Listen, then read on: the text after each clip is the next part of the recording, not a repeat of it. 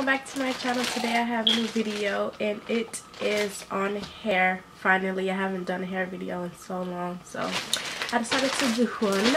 Um, oh and if you like this makeup look it will be a tutorial up on that i don't know which is coming first but so i bought a new flat iron. Look how big this box is.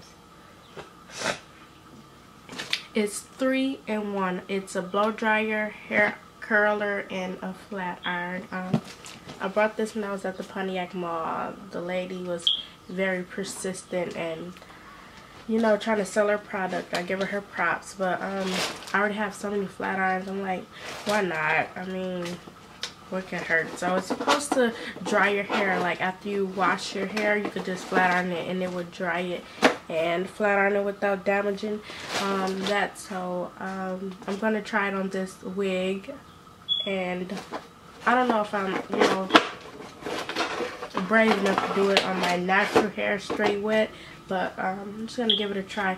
And the brand is called Sutra, and it comes like this with a little comb and a baggie. So yeah, I'm gonna, okay, let me tell you about the wig. This wig is from Premier Lace Wigs. Um, it's like a choppy bob type of wig.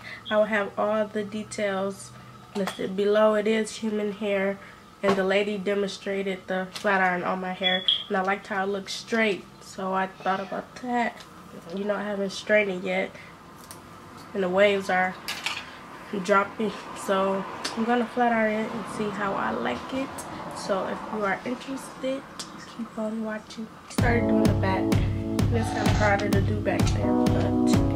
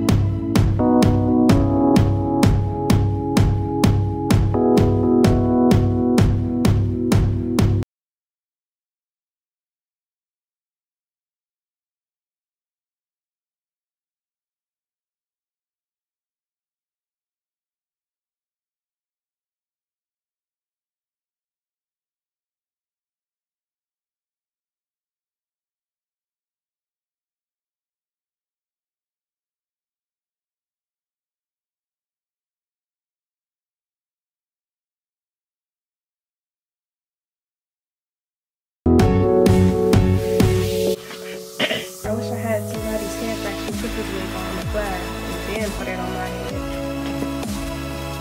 I have a little